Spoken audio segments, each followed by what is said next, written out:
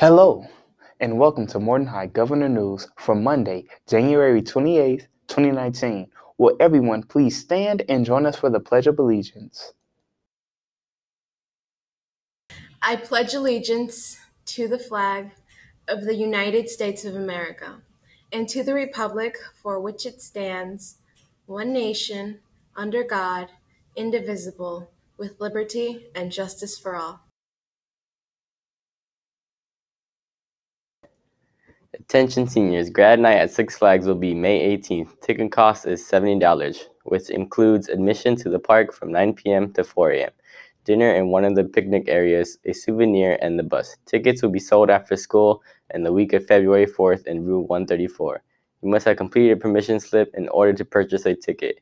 There are about only 100 tickets available. Permission slip will be available in the week of January 28th in room 134. If you have any question, please see Mr. Duffy in room 134.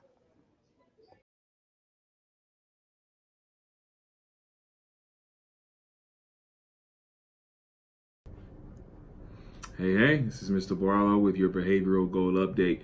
Remember, since unfortunately we didn't reach the goal last month, so January is a month of no dress downs for Friday. Uh, so our plan is to just keep that goal. You know, the goal was 115, um, and that is reduced from 140. So if we can reach that goal, you know, we'll get those dress downs back. Right now, you are at 62. So we've had 62 um, failure to serve detention infractions. So remember, detention is held from 2:35 to 3:05 after school or during lunch. What you do is whatever lunch period you have, grab your lunch head to the bids and serve your lunch detention there for 30 minutes. So we're trying to make it easy to serve these detentions so you can meet that goal. So again, the number is 62. Um, just make sure you serve those detentions. We want you to have the dress down, right? Makes it easier for us too. So meet the goal and we'll all be happy. All right. See you guys later.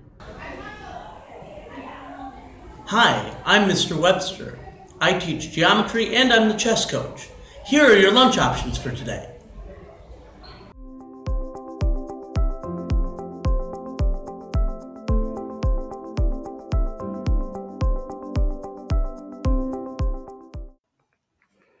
That's all the news for today. Remember, you can always watch the Morton High News straight from the Morton High website. Thanks for watching and have a great day.